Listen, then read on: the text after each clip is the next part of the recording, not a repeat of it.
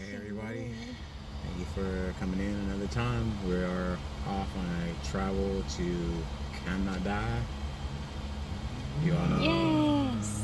recientemente, recently Karen received her green card. Amen. And so we are off to enjoy ourselves in Canada. Uh, so, so kind of, it's her birthday coming up too. So Y el tuyo también. Yeah, mine's is at the end of the month. Hers is in a few days. We are just going ahead off to Canada so that we can enjoy ourselves being able to leave the country finally. And uh, it would have been Mexico, but uh, fortunately Airbnb and all that wasn't working out.